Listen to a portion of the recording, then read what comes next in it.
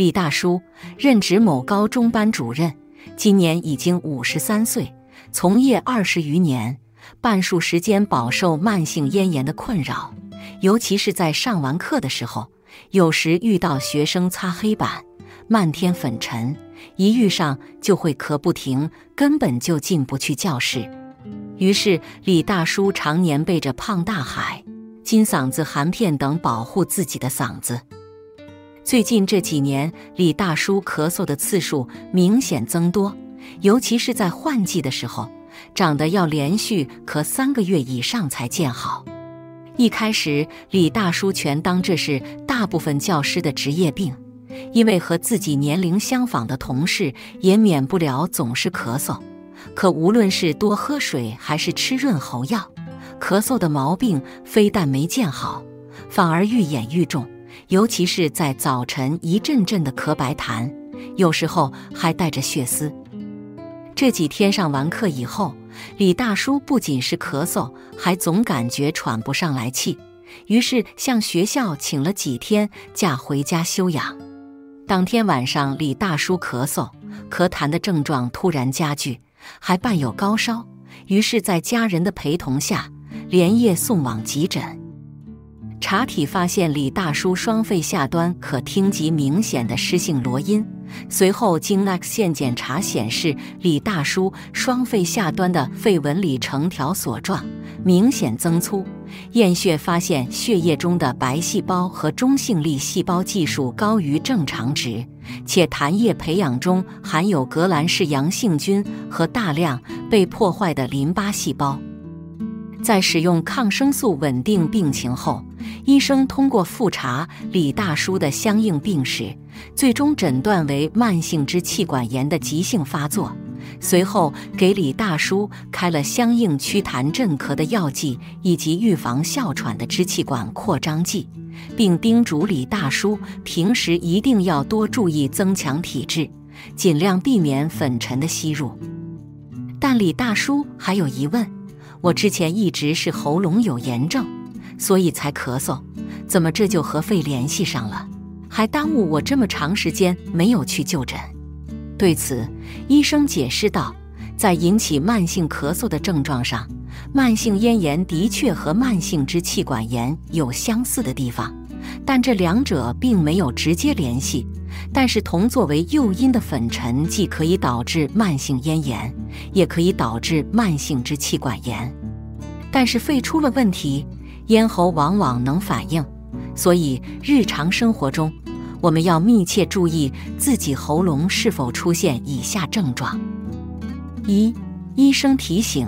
肺部来临，喉咙先知。慢性支气管炎由于中老年人群众多发。所以俗称老慢支，像是老慢支、支气管哮喘、支气管扩张或者肺水肿等常见肺部的呼吸道疾病，其共有的病理反应就是支气管的炎症，而最明显的症状往往是体现在咽喉部。所以，如果喉咙出现以下几种情况，肺部极有可能出现问题：一、长期咳嗽。当支气管长期受到化学如二氧化碳、工业废气等有害气体、物理因素如粉尘、烟雾等的损害，构成支气管管壁的细胞就会变性坏死，引发炎症反应，而炎症又会加剧支气管管壁细胞的损害。总而言之，无论是内在还是外在因素对支气管的刺激，都可化为神经冲动。随之，气管平滑肌束内的传入神经到达延髓咳嗽中枢，再由喉下神经、脊髓神经等传出神经作用于呼吸肌，通过肌肉的收缩舒张完成咳嗽。而这种长期刺激所诱发最明显的临床表现，就是长期慢性咳嗽。像慢性支气管炎、支气管扩张、肺脓肿、肺结核等，虽然具体症状表现上有所不同，但本质上都是由于支气管反复发作的炎症所引发。案例中的李大叔肺部出现明显的纤维条索影，就是因为支气管在不断损伤修复过程中重构后所形成的瘢痕。二、大量咳痰。一般来说，位于下呼吸道中支气管的腺体和杯状细胞只会分泌起到润滑呼吸道作用的粘液。当位于肺部的支气管出现炎症时，一方面相应的细胞分泌的粘液量增多，另一方面由于炎症反应使毛细血管渗出大量浆液，在与外界刺激物和坏死脱落的细胞组织结合，就会以痰的形式随咳嗽咳出。如果出现大量咳痰的症状，可以提示肺部出现支气管扩张、肺脓肿等肺部疾病。此外，正常人很少会咳痰。如果出现了咳痰的情况，不仅是痰量的多少，痰的颜色和气味也会间接反映肺部相关疾病。就比如出现铁锈色浓痰为典型的肺炎双球菌所感染的肺炎，而案例中的李大叔的老慢支除痰量大且呈逐渐增多趋势外，其急性感染时的痰液往往呈现恶臭味。三、声音嘶哑、吞咽疼痛。由于喉返神经主要支配喉肌，而喉肌又是控制发声的主要肌肉，当支气管的炎症逐层累计加重，当侵犯到肌层时，喉返神经受累，导致咽部的横纹肌无法完成正常收缩舒展，临床表现为声音嘶哑、构音障碍。不仅如此。当炎症直接使声带受累，也无法完成正常的发声过程。当肺部出现炎症，细胞所释放的炎症因子可扩散至咽喉部分，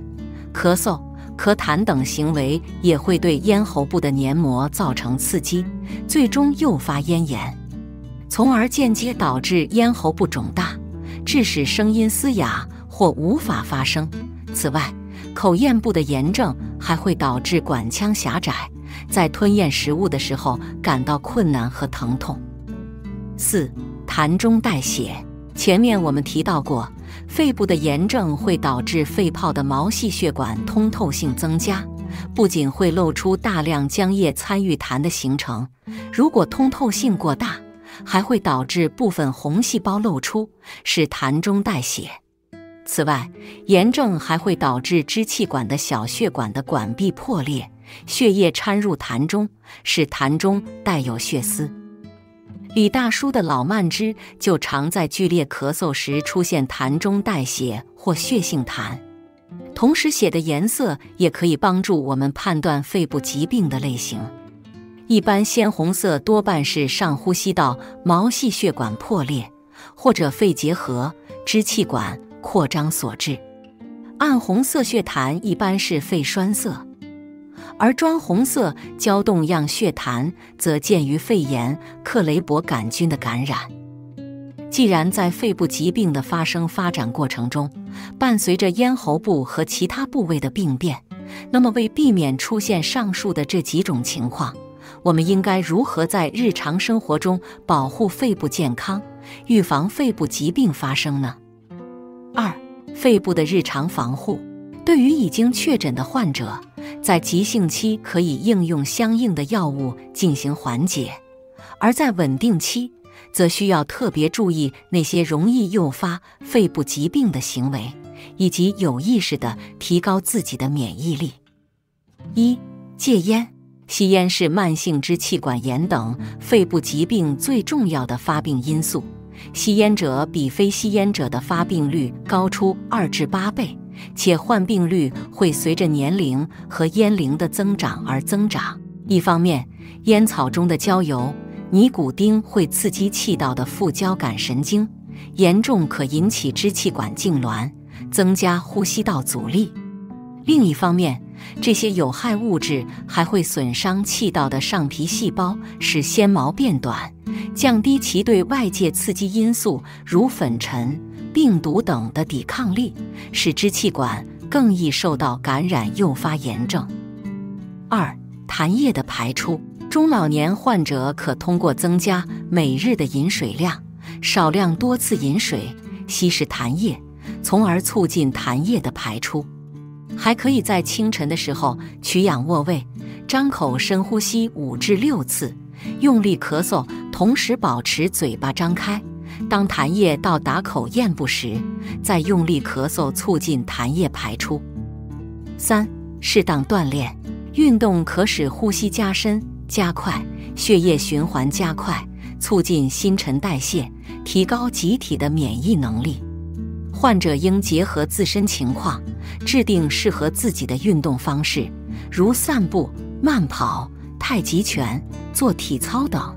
也可以根据自己的体力，有意识地锻炼腹式呼吸、缩唇呼吸，也可以反复练习吹气泡、吹气球等提高肺功能的活动。在选择锻炼地点方面，要选择空气清新、安静。宽阔的环境进行锻炼，避免在大风、潮湿、严寒时外出活动，也要根据天气环境主动增添衣物。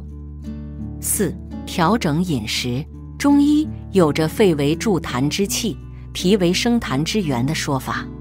肺部疾病的反复发作，久而久之就会累积脾脏，造成脾脏的负担。所以，中老年患者应注意脾胃的调养，减少甜食、油腻、辛辣食品的摄入，少吃虾、蟹等海腥发物，总体以清淡为主，多吃黄豆、鸡蛋、瘦肉等高热量、高蛋白的食物，也要注意维生素的补充。五、预防感染，细菌、病毒。支原体等感染也是引起肺部炎症的常见原因之一。